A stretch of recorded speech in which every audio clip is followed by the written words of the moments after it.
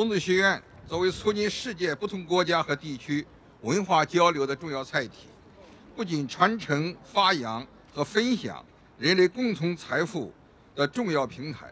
也寄托着中国人民与世界各国人民加强沟通、和谐共进的美好愿望。与乌拉圭共和国大学共建的孔子学院，是青岛大学继美国佛罗南佛罗里达大学、韩国大佛大学两所孔子学院后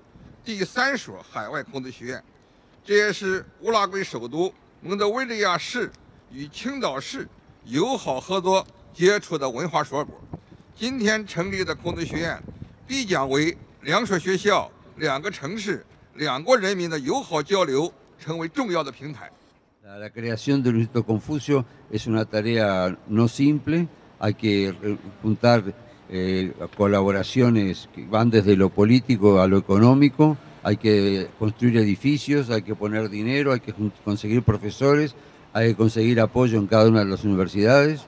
Eso lo hicimos yo creo que bastante rápido y en un año y medio. Firmamos los convenios el año pasado y este año ya estamos concretándolo. Me parece muy importante que se concrete el intercambio de, docentes y de jóvenes que vayan a, relacionarse con un país como es el Uruguay, de los más tranquilos de América Latina, pequeño como ya les dije, en una ciudad que es muy tranquila, tiene hermosas playas y se parece mucho a Chindao en cuanto a su entorno geográfico. Pocos meses, China y Uruguay habrán de celebrar los primeros 30 años de sus relaciones diplomáticas. Es una relación joven, pero es una relación que seguramente en las próximas décadas habrá de seguir intensificándose y habrá de construir grandes hitos.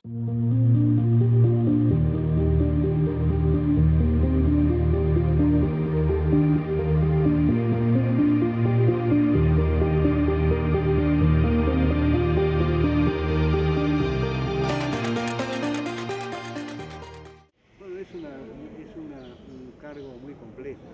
parece sencillo, es como si fuera una pequeña mucho más en la atención universitaria que otras facultades. De mi facultad de agricultura trabajé mucho en ese tema, esto va a ser, me parece, la expectativa mía es extender la extensión universitaria en el tema del idioma, en el tema de cultura, todas cosas este, vinculadas a la sociedad china, la historia china, sería una tarea fundamental en el instituto. Toda esa cultura, aparte, por ejemplo, culinaria,